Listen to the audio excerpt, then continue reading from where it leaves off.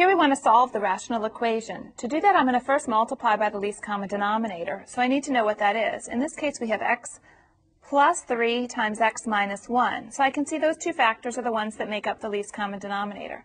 So I'm going to multiply my entire equation by x plus 3 times x minus 1 over 1. And I can do that because I'm doing it to both sides of my equation.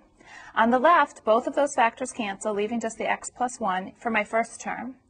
Then minus, here the x plus 3 cancels, leaving the x minus 1, times the 1 that was in the numerator equals, the x minus 1 cancels, leaving the x plus 3. So here I have x plus 1 minus x plus 1 when I distribute the negative equals x plus 3. So x minus x cancels, leaving 2 equals x plus 3. And if I subtract 3 from both sides, I have negative 1 equals x. Double checking to substitute that into the denominator. Um, it will not make this one 0, and it will not make either of those 0, so negative 1 is a solution, not an undefined.